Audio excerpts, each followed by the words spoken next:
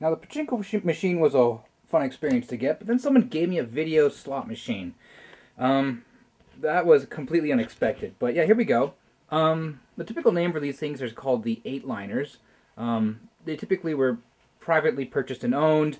A lot of these apparently were used in illegal gambling operations because they're cheap and well, they're not that difficult to set up. Uh, but yeah, this one was given to me. Um, really no back info on it besides I didn't need any keys for it because all the cabinets or locked areas are open. But I didn't have a sheet of glass in the front here. I'm assuming that's like um, smoke glass or something like that. So I'll have to get a new piece cut for that and installed. But it does work. And before I turn on, let's take a look at the back here, just so I can give a, an idea of it. Again, um, didn't need a key for it. There's no key with thing, but all the locks are open, or in this case here, the lock's been forced open. Um, nothing all that special here. 5 volt, 12 volt power supply. Um, you can barely see in there. It's pretty dark. We do have a single PCB in here. We have the analog board for the color monitor, and this is the color tube right here.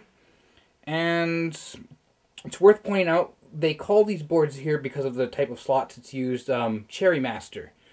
And this particular one here is not an original one. It appears to be some sort of Chinese knockoff. This has seen a fair bit of use before. Again, we'll get into that.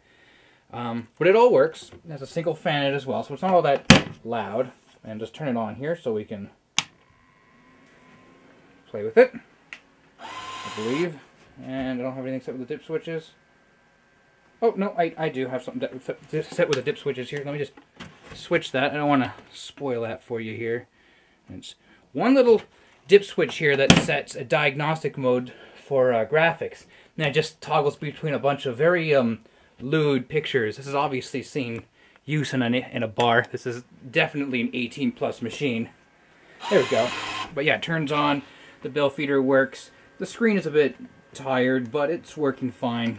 Um, got these beautiful buttons on it, by the way. And they do light up.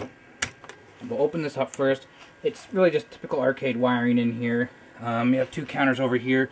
One of these counts when you add bills into it.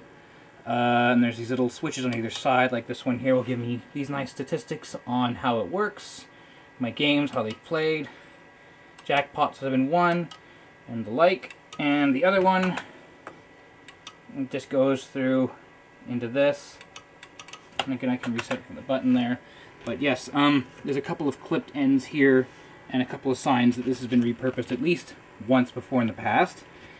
And yeah, the bill of feeder here. It all goes by American currency. It's been someone reset it originally so that it only took $20 bills.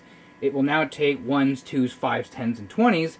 But I'm going to take a bill over here. $20 bill. This one's a pretty recent issue here. What was it? Um, 2013 series. So I'm assuming that, let me just feed this in here. But it won't fit in there because now I've crumpled the bill. There we go. Yeah, in typical bill feeder manner, it doesn't want to accept any bill I give it. It shows American currency. I've tried Canadian currency. Nothing works with it, so I wasn't able to add credits using that. And if yes, this does require credits. Insert coin, though, that gives a bit of an option. Maybe it'll take coins. Yes, it does. There's pin 8 down here, and all you have to do is ground that. So I've added this little red lead here for now. And these two bolts here, they aren't mounting points. They're just, they're like wiring standoffs. This one here is for a blue wire I haven't tracked yet, but this one here is for uh, ground. So all I have to do is just tap this against the ground bolt, and suddenly, boom, I have credits coming out the wazoo here as long as I just keep tapping it.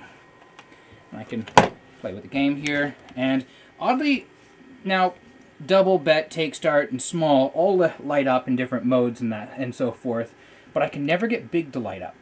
The bulb is okay, the wiring is okay, so I don't understand there. But yeah, let's say we'll bet everything all here. plays exactly like a video slot machine would. Game over, blah, there you go. But, uh, yeah, this is a really unexpected find. I'm going to have some fun with this once I clean it up a little bit. But, yeah, there's not a whole hell of a lot else to it.